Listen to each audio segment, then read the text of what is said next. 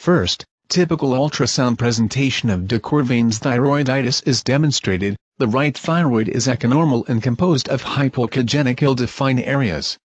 The vascularization is decreased.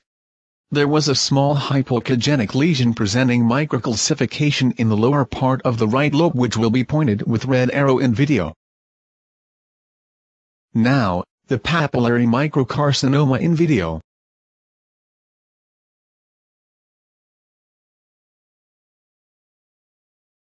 The echogenicity index is around an 80% in the right lobe.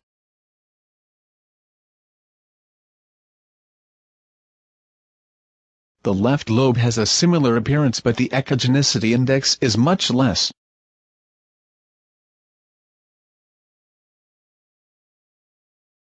Finally an US guided aspiration is demonstrated.